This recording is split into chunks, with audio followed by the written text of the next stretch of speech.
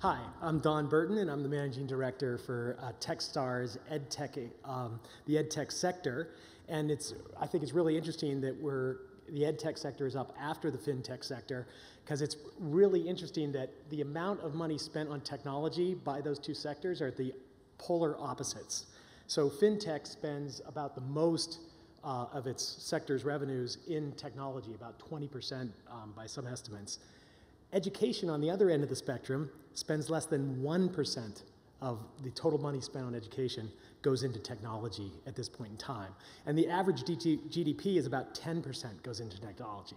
So the ed tech sector um, is really at the, it's just the very beginning of having technology disrupt it. And so it's, it's a pretty exciting sector because if you look at technology's penetration into the classroom, you know, all of us have gone through school or some form of education. Well, what you went through is pretty much the same thing that sits out there today. But there are glimpses of the types of changes that are coming down the pike. And um, we have five companies that are going to give us uh, some glimpses into the type of disruption. And the, and the other thing about EdTech is more capital investment has gone into EdTech companies this year than ever in the past. And I believe it is the largest, um, the sector that has the largest amount of capital getting poured into it right now because people do believe that we're at that tipping point and education just can't stay the same forever. So, with that, I'm going to call up uh, five companies that'll give us, again, different glimpses into the types of things that are going on in educational technology. And we have everywhere from corporate training and lifelong learning down to K 12 schooling. So we have everything in between. And we're going to start with corporate training and Cognotion. Joanna Schneier. Thank you.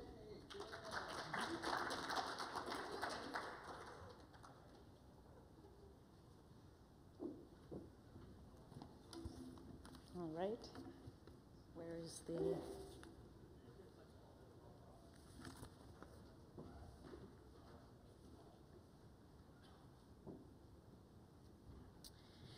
All right, hi, my name is Joanna Schneier, and I'm the CEO of Cognotion. Cognotion transforms entry level millennials from distracted job hoppers to career driven employees. And in our first year in operation, we've been able to gain some serious traction. Uh, in the first, in the last six months, we've generated over $8 million in revenue and have 600,000 employees in our courses. So, why millennials? Millennials right now are 80 million uh, people in the US alone.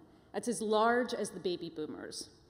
And uh, many of them, about 60%, work in entry level positions. Even 60% of them uh, do not even graduate from college. So, what's the problem that we're trying to solve? Entry level employees have massive turnover rates. Uh, in the uh, restaurant industry, it's about 200%. In the hotel industry, it's around 60%. And these corporations have no idea how to access the power of their young employees. Not only that, 91% of millennials change jobs and expect to change their jobs rapidly. They don't know why they should be staying at their jobs. They are not inspired to stay at their jobs. And they are expecting, for the first time ever, to access information on a mobile uh, basis. And only 6% of companies feel like that they are using technology properly to train their employees. Young adults uh, get into jobs that they don't want. About 30% of them are living at home, and 50% of them are taking on jobs that they don't really want to be in and have no loyalty to staying in. And so, what are corporations doing to train these young adults? They're giving them paper, they're giving them binders, old PowerPoints. None of it is mobile, none of it is accessible for a young generation to do on the fly, and they're not interested in what they're providing for them. So, corporate training right now is not working for young adults like this. They are young, uh, interested in accessing mobile, um, and they want to access information wherever they are at any moment. So, what's our solution? Cognotion provides mobile training applications that uh, are available for an entry level employee wherever they are. They're gamified, they use uh, emotion and context to reach an audience. And then for our uh, employers, we have a platform that is really easy to use that enables them to track their employees. We uh, have been able to uh, gain our traction by reaching out to franchise holding companies that have access to hundreds of thousands of employees in one uh, uh foul swoop. And uh, through this, we've been able to uh, reach uh, 600,000 employees in this last year. We're working in a huge market. Corporate training is 307, $307 billion, and it's a market that has not been disrupted. Our solutions for our end user are games that uh, train them in soft skills and hard skills, skills like showing up to work on time, being a professional, uh, just doing the very basic things that they need to do to be able to succeed in their careers.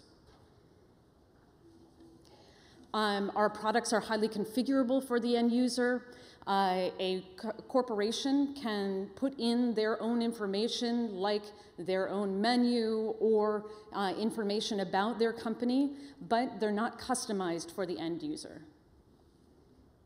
And our platform for the managers allows them to track at any time, not just at a yearly annual review or when somebody gets fired, how an employee is doing. It gives them the ability to provide inputs for that employee so that they can uh, improve retention rates. We're targeting sectors like these. Uh, each of these are needing mobile applications uh, that can reach their employees on the fly and we've got a really strong team. Uh, our team has been working in gaming and mobile for the past uh, 10 years. Uh, so we really understand this market. Uh, we, my first um, mobile application that I built was over 10 years ago for the Indian uh, market. Uh, we were doing training at that time, sending SMSs. And we've only been working on that since then to improve our products. And Cognotion, We believe that young adults have a lot of power and that there is a lot uh, of ability in this young population. They want mobile applications to be able to succeed in their jobs. And Cognotion is reaching this young uh, population through training programs that are intuitive, easy to use, uh, and are game based.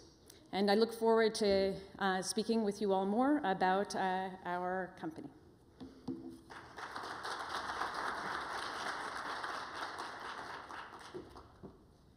Thank you, Joanna. So the next company is Verificient Technologies. And Verificient plays in the kind of higher ed and graduate schools, um, so undergraduates and graduate schools. And they have a proctorless proctoring technology. So here is Tim Dutta to present them. Thank you, sir. Thank you.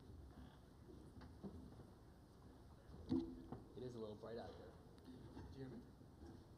Can you guys hear me? No. Mike? Sorry. Over the last 10 years, the growth of online education has exploded at a rate of 418%. With the democratization of education people are taking online courses all over the world. But in order for those credentials to have integrity, we must address the big questions that people are just starting to think about. How do we verify who took the course? Who deserves a credit? How do we know who cheated? Today, 86% of students admit to cheating and getting away with it. 86%. And the cheaters are getting very creative. They're placing crib notes on their thumbs. They're hiding cheat sheets in their bras. And they're even being caught blue handed. And some cheaters are placing their phones in a juice box. A grown man in a juice box Really. And combating cheating is getting even more creative. There's your do yourself hat trick. There's even put your head in a box. As curriculums change from the classroom to computers, I should really watch this. As curriculums change from the classroom to computers and now to mobile devices, so will the need for online assessments. Could you imagine taking a chemistry final anytime, anywhere on an iPad? Well, you could also imagine the cheating that comes with this. For online degrees and credentials to be valued, we need to address this. My name is Tim Dutta. I'm the CEO and co-founder of Verificient Technologies, and we're on a mission to put an end to online cheating from mobile testing platforms. At Verificient, we specialize in identity verification through the use of computer visioning, machine learning, and biometrics, all based on cloud technologies. Our software, Proctor Screen, is the only automated proctoring solution that continuously verifies the identity of online test takers. It's available on iPads and Androids. What makes us different? We're the only solution that's automated, that's scalable, on demand, and completely proctorless. Yeah, that's right. No human supervision required. We're integrated into all the major learning management systems. And in fact, I'm proud to say that we're the only automated proctoring solution that's a premier partner for the Canvas Learning Management System. Our customers are all throughout the country. In fact, let me tell you about one of them. Flat World Knowledge is one of the most innovative mobile device learning management system. They provide a college education at 65% lower than any online degree. In fact, they chose Proctor Screen as their solution. I got good news. We have a 10-year deal with them going forward. Let me share another case with you, St. George University. It's the largest medical school in the Caribbean. Over a five-week program, we've decreased their integrity instances by 91%. In fact, by week two, we caught two students cheating tremendously that were expelled on the spot. Let me show you how it works. Introducing a new way for students to take Kaplan nursing tests anytime, anywhere, with Proctor Screen for the iPad. When a student selects their test from the dashboard, they'll be asked to browse ideal test practices and complete an automated system check. Then, we verify their identity with a facial scan, an ID scan, a knuckle scan, and a room scan. Instructions and examples are just a touch away. After reviewing the exam terms, they'll be launched right into the test. The red frame around the screen indicates that the student and their iPad are being monitored. As an instructor, reviewing student proctoring reports is easy. Log into ProctorTrack, select the student you wish to view based on their integrity, and check out their video report. Suspected test violations appear on the right, organized by type and timestamp. Clicking Watch Video takes you right to the moment where the violation happens. Here you can see that this student received help from a friend, left the test session, and looked online for answers. Below, the hardware report and other suspicious user activity indicate whether the student attempted to use multiple monitors, run a blacklisted app, or copy test questions. When you're confident that a student has cheated, click Mark as failed and confirm, and you're finished. Proctor Screen, automated remote proctoring, simplified. As online degrees and assessments continue to grow for mobile devices, so will the need for our solution. I'm Tim, that's we're, we're Verificient, and we're the missing piece needed to ensure the integrity for the online credential. Thank you.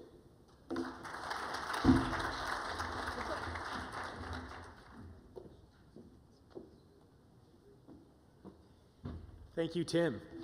The next uh, company that's about to present is SmartOn, and SmartOn is in the work readiness space. Um, so after you graduate and you went through Proctor Screen and got a, a credentialed degree, um, then you have the task of trying to find a job in this in this economy. And so basically, there's a huge skills gap, and Rakshit from SmartOn is going to tell us about that and his solution.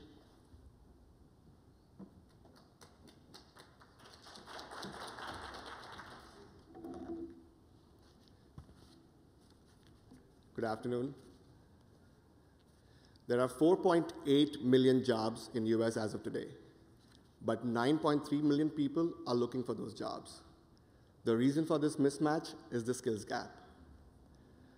Out of these 4.8 million jobs, a million jobs require use of skills, which, which requires use of technology tools. These technology tools are available on the web as well as on, on the mobile apps the problem is employed people and un underemployed people are struggling to cope up with these apps. Meet Kim. She's 26. She works for a marketing company as an associate.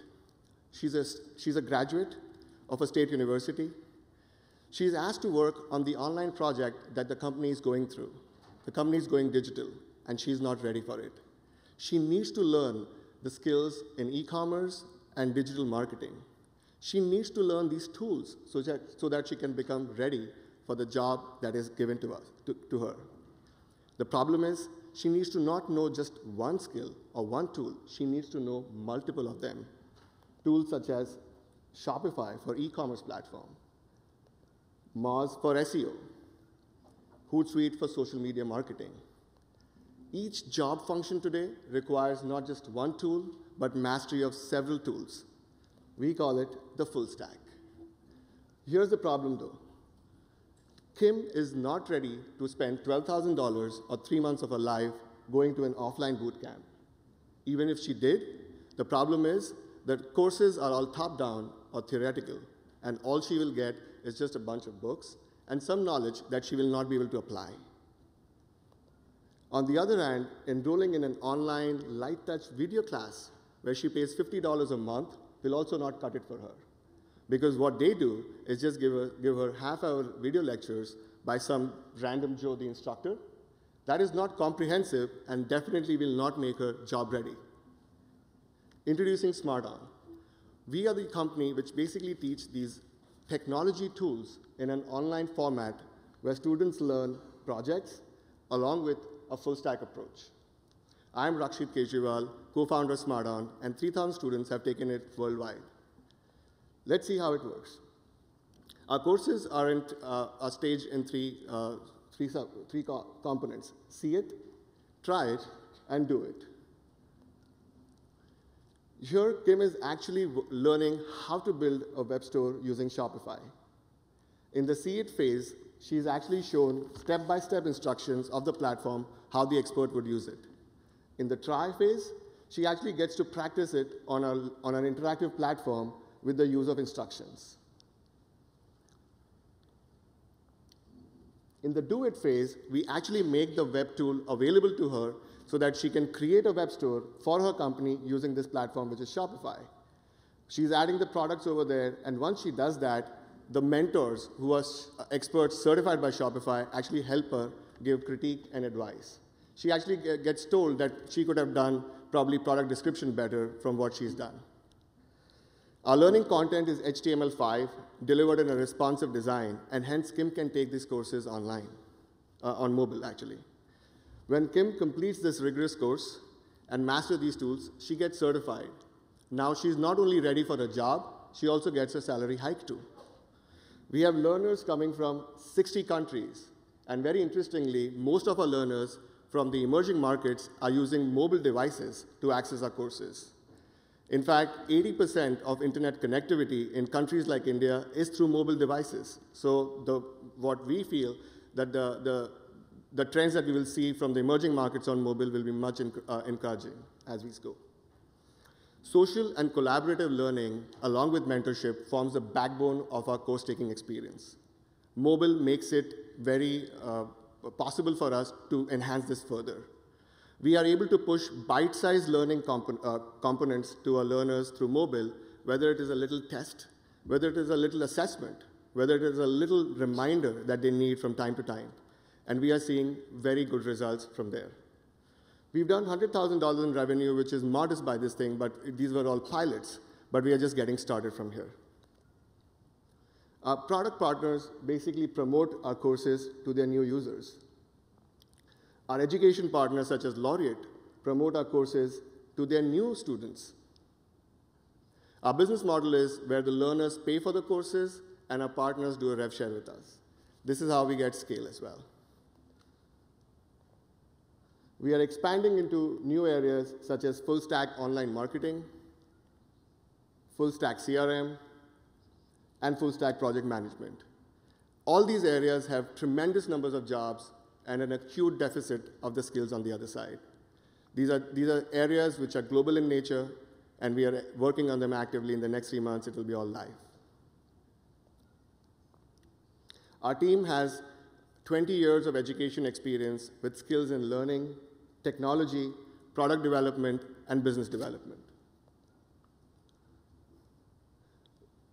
We are a proud company of Kaplan Techstars Accelerator of 2014, and we are actively raising uh, our seed round. Please come talk to us to know more about SmartOn and how we are solving the problem of digital skills gap. Thank you.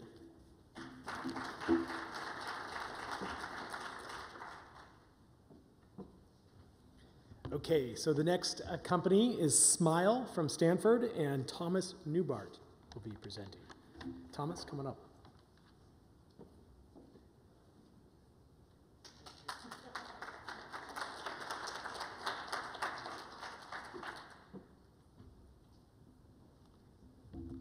Yeah, it is bright up here. So which button do I hit? Just the green button? So as you are reading that, I guess, um, I'd like to share a few notes that I made before I came up here. Um, so first of all, the, e-learning market in 2000, the e-learning market in 2015 is predicted to be around 107 billion dollars revenue. The smart learning market, which is all high-tech stuff and mobile and such, um, increases to around 344 billion dollars in 2019. At the same time, 50% students fail federal standards on a regular basis. College students don't engage, and because of that, they just drop out. If you look what has been done over the last generations, um, we created standards to measure certain performances, and I don't think they have worked too well. I can speak from experience. My wife has been a teacher for 15 years and a school principal and the headaches they are going through is pretty amazing. The next phase was we are digitizing books, following high-tech trends. Didn't work out either too well. The next one is we're offering e-learning classes. And I'm not disagreeing with any of what we just heard. I think we actually agree on all of this. But the dropout rate in general is actually pretty high. And the latest phase, so to speak, over the last year, two years, are the MOOCs the massive open online courses that most of us may be familiar with. But even there, the business models are currently not there just yet, and the dropout rate is actually fairly high. So there has been no fundamental changes the way we actually teach or the way we actually learn by using new technologies. So here we have mobile devices, and we are applying mobile to the way of teaching the way we have done it for all these years. And we believe that that needs to change fundamentally. So Smile is a, uh, a very early stage uh, startup, a project out of Stanford. Uh, we are actually in fundraising mode. Uh, so if you want to talk to us about uh, any of these opportunities, just let us know afterwards. So just uh, a quick overview of, um, of uh, what this is all about. So we believe that the whole education needs to transform towards critical thinking so that the people and the children today who go to school are ready to actually apply how they learned and what they learned to the workforce. And if we don't change fundamentally by using new technologies, the way we teach in school, we believe we are not ready to be competitive in the workforce matching the 21st century requirements. Um, and I'm speaking for the United States for the moment. We had test pilots uh, installed 25 in 25 cities, 25 uh, in various countries, um, to measure some of the results of how this can increase the way we teach. So overall, uh, the new way of critical thinking is we need to get students more engaged. They need to create, they need to present, they need to solve, they need to analyze, and they need to reflect. So instead of me sitting there as a student being totally bored, where a teacher tells me or teaches me how to speak English with a book in their hand, and you know, this is the word tree, and this is the word book, and such and such, why not flipping this around and giving kids a mobile device? Send them out. They can take pictures. They come back you collect the pictures, you rate them by, you know, how many kids have done the same pictures, and make it relevant to the kids, and then challenge the kids to ask questions. And when they ask the question, you teach them the language in that way. So it's not about, here is a tree, it's like, what is a tree? Why is there a tree? Why is the tree brown? Why is it green? And such and such and such. And you can apply this anywhere, not just lower education, it's actually corporate education and anything that you can think of if you apply the content in the right way by using this particular uh, technology. So that's the engagement factor. The next one is transparency. If you have a software and a cloud and the combination of both, and you can track the questions, the, the answers, the, the richness and the depth of the questions in itself. You can get a lot of data from the performance of the teacher, the school in itself, the individual student? Did my child ask intelligent question? Did they answer certain questions from other students? How can a student rate the other students? So it's like peer evaluation. It's a completely different dynamic of how a classroom should look like in the future, rather than me sitting here lecturing to all of you and you may be bored out of your mind. Luckily, I have lights in my face, so I cannot confirm if that's right or wrong. But that's, that's the, the engagement level that needs to change within the classroom. And again, it's, it's all about critical thinking and using new tools to be ready for the 21st century and for the workforce following after. By collecting all of this, there will be um, a, a, cloud connection, um, big data, big data analytics, and then you can um, provide results in real time on a portal to a teacher. The teacher can adapt their assessment of individual students. They can maybe change the lecture, they can change the content according to the individual student that is part of the class that may not have been recognized to have a certain weakness before the end of the year when the rates are coming out. And for the parents, it's the same thing. They go on a portal and they can, they can see what kind of questions, how engaged my kid has been today in real time on a daily basis in every single class. So, with that, um, Smile um, is built up on three components. The, the first one is this is just a test device. Um, ultimately, this can be as small as a little stick that you stick into a computer and it has Wi-Fi, Bluetooth connectivity, it has storage space. We can add certain third-party content on an as-needed basis. It has the mobile application, which I show you in a second, and it has the overall conceptual uh, software that has been developed um, at Stanford and it comes out of Stanford. So with that, um, I go a little bit quickly because I have way too many slides. Um, there is a particular process of how certain questions will be asked. Uh, by the way, that software is, uh, is, is, available today online. Any of you can actually log in to play with it a little bit. How it looks, you can create your own course or a little test content if you wish. Um, the next slide kind of sums it up in a nutshell. The top portion is what I just said about the three components. It's about the student engagement, the transparency to the child, the teacher, the parents, the school district, the principal, the state, the government, and based on information that will be stored in the cloud and monetized and analyzed, certain fundamental decisions actually can be made on, an, on a real-time basis.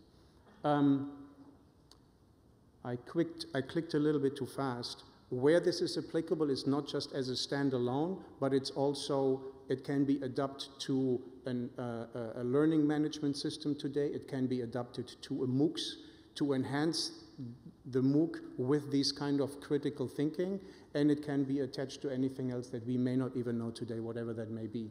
The stakeholders, I talked a little bit about it. I'm running out of time, but let me just quickly give you a snapshot of the interfaces as it exists today. So we have a web interface. We have the mobile interface, obviously comes in certain levels based on the activities and who is using it and how they are using it. Um, it shows you the layout, the, the fundamental menu, the, the, the activities. You can also create, solve, and review the problems with peer evaluation, the ratings, the stars, and all of that. Um, it has the overall layout right there. Videos can be implemented, slides can be implemented, so any kind of content can be implemented into the solution. Uh, we have roadmaps for other interesting ideas. Uh, up on funding, we are going to develop this further. We just released version 2.0. And also on the hardware side and on the cloud side, we have some interesting ideas how to uh, scale this and then bring this into the market. So with that, some competitive analysis um, to discuss a little bit later in more detail. And with that, have a nice smile. Thank you.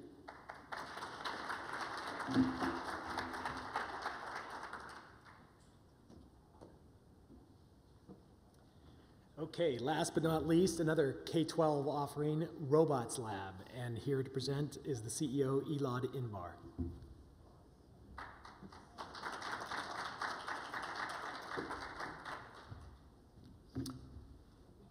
So, um, it's been a long day and we need engagement.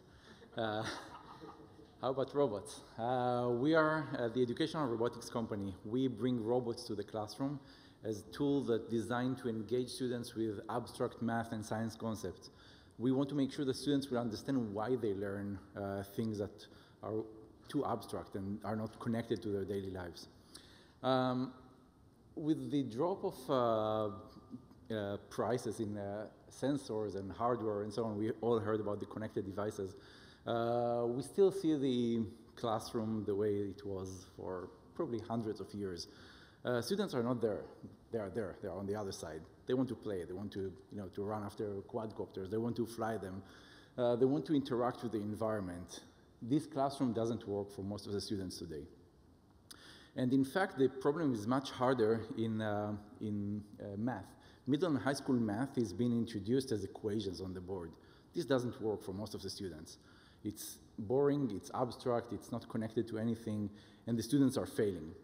Um, they are failing big time. Last year, upon graduation, only one third of the high schoolers were proficient in math. By failing at math, they disqualify themselves from decent careers and jobs and, um, and college later on.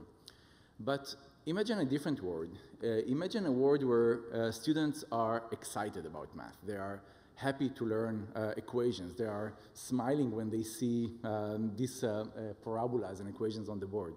Sounds like improbable? Well, not if you talk to our customers. This is how every math classroom should look like. Students that are excited and engaged and they want to learn. They want to work on the math with their teachers um, they want to um, control a robotic arm or fly a quadcopter. It doesn't really matter what are the tools, we trick the students to learn. And we do that in a, in a very good way uh, that you'll see in a second. And here we are. Um, so for the first time, students can see for themselves how math can be applied to the real world, how manipulating an equation will change the way that a real world uh, object like a robot uh, will, will move, will, in, will interact uh, with, the, with the physical universe around them. Uh, the teachers don't need any prior experience in robotics or computer science. They basically swipe their finger on a tablet and they can engage the students and show them how the uh, real world, the concrete world, is connected to the abstract, world sorry, to the abstract world, how um, a motion of a quadcopter can be represented by a quadratic equation. This is something which was never done before. We never showed the students this connection between the two things.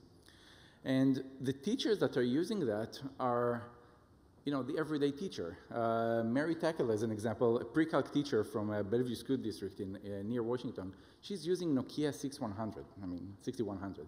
This is like years old. Um, and um, um, John Shannon, a city director from uh, North Carolina, he's using the Motorola Razr, the first generation, if you remember this, uh, this flip, uh, flip phone. These guys want to engage their students, but they are not you know, proficient in, in technology. They don't have these smartphones. They don't have this, um, this technology. So what we are doing is making sure that they will be able to use that. Um, each one of these teachers today, they want to, uh, to engage them. And we have students, we have teachers, we have students across the country and in North and Latin America. More than 450 schools uh, are using this technology and engaging the students uh, in, a, in a whole new way. Uh, we've sold uh, more than $4 million to date, uh, and we are running, um, accelerating pretty fast. Our programs span uh, from K to 16. Uh, we have programs for um, hands-on computer science for K to 4, uh, all the way to college level that uh, make sure that students will be engaged and will make sure that they will uh, learn uh, better. Our innovation was awarded with, from several pretty dis distinguished organizations, including the best EdTech company at South by Southwest EDU this year, and the gold from the Edison Award. Uh, we have a strong team, uh, deeply rooted in, uh, in EdTech and uh, with uh, a lot of mobile experience. Um, and we are building a whole new future for, uh, for these students. The market opportunity here is huge. I mean, you're trying to think about all, this, um, all this innovation. Who is using that? Probably rich private schools? No, not really. Uh, we are talking about the line item that's for STEM equipment budget in public school, in public education uh, about professional development, about grants that PTA in, in local schools are uh, giving the teachers. Uh, there is some private schools about that, uh, around that, but most of the customers are public schools. Uh, pretty surprising. Globally, we're talking about a market opportunity of more than $56 billion. Um, this is us, um, and this is what we do. We make sure that students will change their life trajectory by uh, understanding why math, why science is relevant to their lives. Thank you.